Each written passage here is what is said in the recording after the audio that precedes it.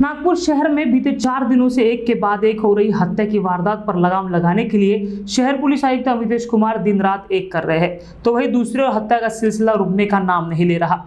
सोमवार को झकझोर देने वाली चिमाबाई पेट हत्याकांड के बाद मंगलवार के दिन भी फिर से एक हत्या की वारदात जगनारा चौक स्थित नाग नदी नाले पर हुई।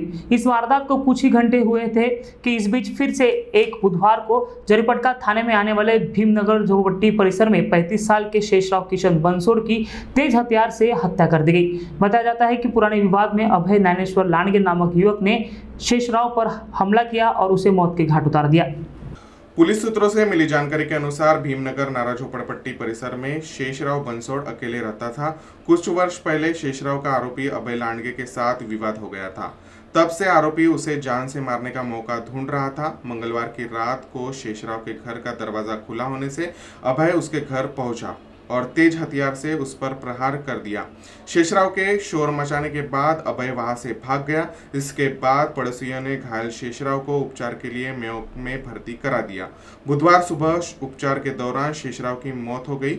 बताया जाता है कि शेषराव आपराधिक प्रवृत्ति का था। उसके खिलाफ पुलिस में कई मामले दर्ज है।